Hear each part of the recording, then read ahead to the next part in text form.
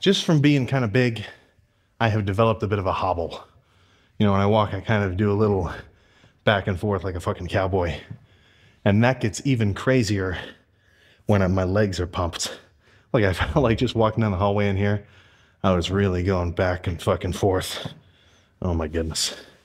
But you don't need a runway walk to be a freak, so who cares? Let's see how they're looking after. I'd say quads today, I cut it just a bit early. Still, most of the work was done pump wise, but not my gnarliest quad pump. Though hamstrings, that felt really good, especially those light squeezing sets in the beginning on the seated hamstring curl instead of the laying one. I like that a lot. It's been a while since I've done that machine. So maybe I gotta add it back into the routine. But uh, let's see how these things are looking. I'll just take one pant leg out. I mean, that's some beef right there. Ooh.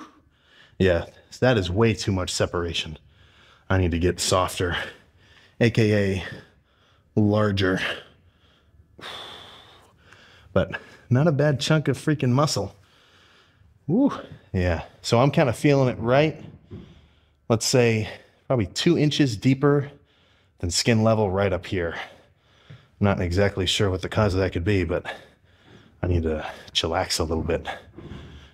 If I still feel it on next leg days, well, on next leg day, then maybe quads, I might even just skip, let it kind of heal itself up. Or if, it's, if it doesn't mess with me, just go real light on the leg extensions and just go for a pump, you know. If I, um, like last time I pulled my chest really bad, or no, no, I got a leg example. Around last Christmas time, I pulled my right hamstring real bad, close to the, close to the knee. I don't know which head, but it was not good. There was no more hamstrings done that day. There was no hamstrings done that week.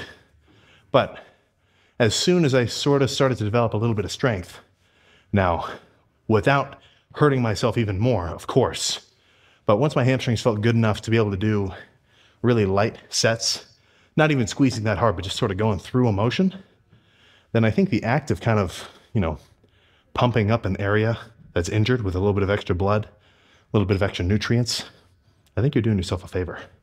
Now, that does not mean if you like pulled your chest, then try to go straight into bench.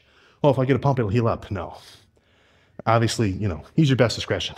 But I'm going to go pack up, do some adductors, and get in the car.